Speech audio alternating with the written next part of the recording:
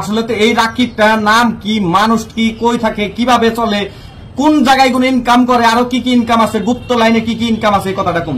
আপনার করার দরকার নাই আমি নিজেই কইতাছি। আমার নাম রাকিবুল ইসলাম আমার বাড়ি নলবাড়ি জেলার লারকুসি গ্রামে PS Mukalmua post office Larkusi pin seven eight double one three eight. আমার গুপ্তলানের ইনকাম বলতে আমি গুয়াহাটিতে না ড্রাইভিং কাজ করি কিছু মানুষ জানে আবার কিছু মানুষ জানে না। তাই? ও তো কেমন আছেন সবাই? আপনারা হয়তো দেখেছেন ইন্দামামুল ভাই আমার নামে একটা ভিডিও বানিয়েছে। প্রথম কথা হলো আমি উনাকে রোস্ট করেছিলাম উনার কাছ থেকে পারমিশন নিয়ে। তারপর যে উনি আমাকে এইভাবে রিপ্লাই করবে আমি হয়তো জানতাম না। তো রিপ্লাই করেছে বেশ ভালো কথা। কিন্তু রিপ্লাইয়ের মধ্যে উনি কিছু উল্টা উল্টা কথা বলেছেন আমার সম্পর্কে তারই আমি রিপ্লাই করব। তো চলুন শুরু করি। তরে তোর গ্রামের মানুষে কি করে চিনে? ক একটু। আমাকে আমার গ্রামের মানুষ কি হিসেবে চিনে? আচ্ছা আমি যখন ইউটিউবে ছিলাম না তখন আমি ড্রাইভিং কাজ করতাম আপনারা হয়তো জানেন কিছু সংখ্যক লোক। তো আমাকে তখন আমার গ্রামের মানুষ ড্রাইভার হিসেবে চিনতো। আর এখন তো আমি ইউটিউবে কাজ করি তাই আমাকে ইউটিউবার হিসেবেই চেনে। আর আমার গ্রামের মানুষ আমাকে শুরু থেকে অনেক সাপোর্ট করে আসছে এখনও সাপোর্ট করে। এক কথায় বলতে গেলে আমাদের গ্রামের মানুষ আমাকে ভালোবাসে। তার কারণ হলো আজ পর্যন্ত আমাকে নিয়ে একটা বিশাল সালিশ করতে হয় নাই আমাদের গ্রামের মানুষের। আর আমি নিজেও কারোর সাথে ঝামেলায় জড়াই নাই কারও টাকা মাইরে খাই নাই কারোর সাথে বিবাদ করি নাই যার জন্য আমাকে আমার গ্রামের মানুষ প্রচুর ভালোবাসে। রাকিব আসামের বাংলা কন্টেন্ট ক্রিয়েটারের মধ্যে এমন একজন কন্টেন্ট ক্রিয়েটার যে আসামের মধ্যে সবচেয়ে বড় ইউটিউবার বা ফেসবুকার হিসেবে মানে। মিথ্যে কথা এটা অবিশ্বাস্য এটা হাস্যকর। আমি কোনোদিন বলি নাই যে আমি ভাটিয়া ক্রিয়েটরের মধ্যে নাম্বার ওয়ান ক্রিয়েটর হয়তোবা এটা আপনাদের মতো কিছু বালছেরা ইউটিউবাররা রয়েছে যারা আমার ধ্বংস চায় কিন্তু ধ্বংস করতে পারে না তারাই হয়তো এগুলো ভাবে। কিন্তু আমি এগুলো ভাবি না। হ্যাঁ আমি মানি যে ভাটিয়া কন্টেন্ট ক্রিয়েটরের মধ্যে সব থেকে ফেসবুকে আমার ফলোয়ার বেশি সব থেকে ইনস্টাগ্রামে আমার ফলোয়ার বেশি। কিন্তু এইগুলো নিয়ে আমি কখনো এটিটিউড দেখাই না। কারণ পাবলিক আমাকে ফলো করেছে পাবলিক চাইলে কিন্তু আমাকে রাস্তায়ও নামিয়ে আনতে পারে ঠিক আছে?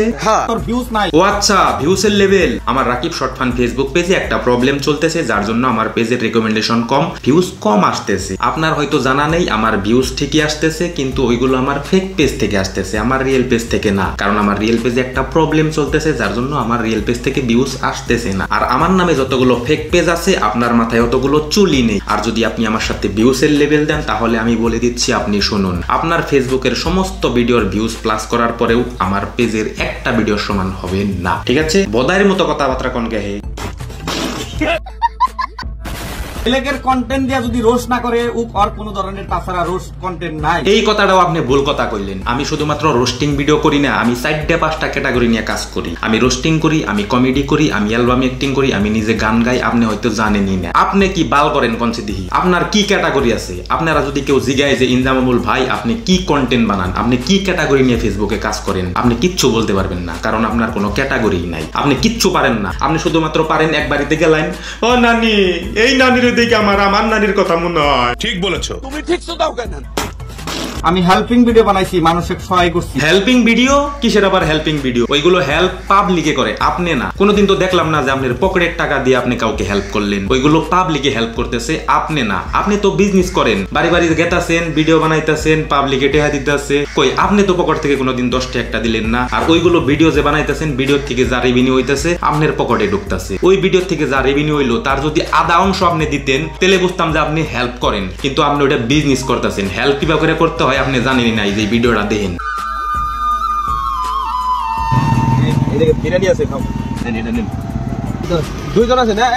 আমি নিজে দিন রাত ইউটিউবে ফেসবুকে পরিশ্রম কইরা ভিডিও বানাইয়া ওইগুলো ভিডিও থেকে আর্নিং কইরা এইসব গরিব মানুষকে হেল্প করি। ঠিক আছে? আরও দেখেন।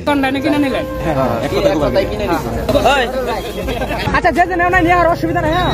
গুয়াহাটির মতো জায়গায় এরকম ভাবে সবজির দোকান কিনে আমি মানুষকে ফ্রিতে দিয়ে দিই। যেটা আপনি করতে গেলে না আপনার আত্মা ফেটে যাবে। আর হ্যাঁ এই ধরনের হেল্প আমি এখনও করি যেগুলো আমি ক্যামেরা বন্দি করি না। কারণ আমি মানুষকে হেল্প করি আল্লাহকে খুশি করার জন্য। তিনটা মামুল একজন গ্রাজুয়েশন পুলাহান তার তুই তো কার দেখে কি পাস করছা? ওই কি পাস করছা তুই? হেই বুদাই ইউটিউব করতে আবার লেখাপড়া লাগে নাকি? আমি না চারটা পাঁচটা চ্যানেল চলাই। কোন একটা চ্যানেল থেকে তো আমারে কইলো না যে তুই এমএ পাস সার্টিফিকেট সাবমিট কর। আপনি এমএ পাস করছেন বেশ ভালো কথা। এমএ পাস করছেন ভালো কিছু করেন। কই এমএ পাস করে আপনি কি বাল্লা চাইতাছেন কনসে দিই সেই বাড়ি বাড়ি গেতাছেন আর নানি।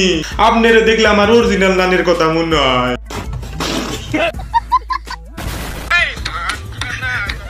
টাইটেল লেখছে, গাঞ্জার কামাল। সবাই শেয়ার করেন। গাঞ্জার কামাল শেয়ার করব কেন? ওই? ইনজা মামুল, ভাই, আপনি বরিয়া করে সোশ্যাল মিডিয়া জগৎ ছাইরা দেন, কারণ আপনি পারবেন না। আপনি বুঝেনি না, আপনি কেমনে পারবেন? আরে ভাই ওটা আমি একটা ফানি এন্টারটেনমেন্ট ভিডিও বানাইছি, যার জন্য আমি টাইটেলে লিখছি গাঞ্জার কামাল। বং মিডিয়ার মতো বড় বড় চ্যানেলে টাইটেলে লিখে দেয় বাংলা মদের কামাল। দেখে নেন। তাই বলে কি বং মিডিয়া মদ খাই নাকি? মদাহি হয়ে গেল নাকি? থ্যাট বালছিরে আপনি কিচ্ছু বুঝেন না হে। কন্যাকাল ফকির নিয়ে আমার পিছন মারবি। আমারে যে আপনি ফকিন্নি কইছেন আমি একটু দুঃখ পাই নাই। আপনি যদি ভাবছেন আমার অন্তরে দুঃখ দেওয়ার জন্য আপনি আমারে ফকিন্নি কইছেন তেলে ভুল ভাবছেন। আরে ভাই আমি অরিজিনালি ফকিন্নি। আমার দাদাই গরিব আসাল আমার বাপে গরিব। আমি নিজে গরিব। আর আজকালে সমাজ জাগর টেহা বসা নাই তাকে ফকিন্নি কয়। এতে দুঃখ পাওয়ার কিচ্ছু নাই। জাগর টেহা বসা নাই তারা সমাজ একটা কথা বললে ওই কথা খাটে না কারণ তারা ফকিন্নি তারা গরিব। আমার বাবার যদি টাকা থাকতো আমার যদি টাকা থাকতো তাহলে আমাকে নিয়ে এইসব বাজে মন্তব্য কেউ করতে পারতো? আমার পিকচার লাগায় সাইডে তারপরে আমাকে ব্যবন্ড ভাষায় গালিগালাজ করে, এগুলো করতে পারতো? যদি আমার বাবার টাকা থাকতো, আমার টাকা থাকতো না, ওইসব মানুষকে আমি ঠারের পিছনে বাইন্দা শেষরায় নিয়ে পিটাইতাম, ঠিক আছে? ঠিক আছে ঠিক আছে।